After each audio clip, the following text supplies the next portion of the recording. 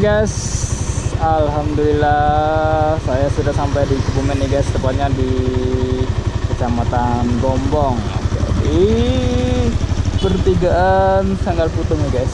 Ini adalah jalur jalan sekarang bolong ya guys.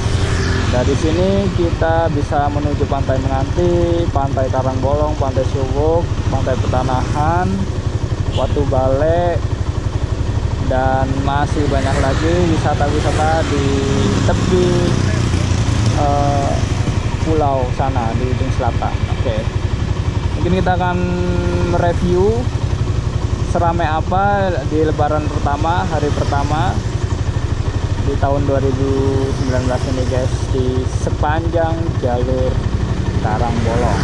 Oke, kita mulai kondisinya seperti apa karena saya juga baru sampai dari Tangerang nih pengen menuju rumah nih guys.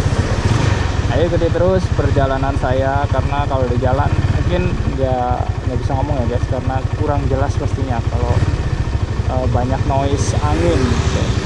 karena nggak pakai mic eksternal ya udahlah ya ayo kita lihat seberapa ramai sih untuk di jalur Karang Bolong ini.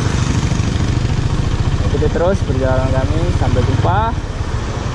Sampai ketemu di rumah gua janganlah ayo nonton guys. Yuk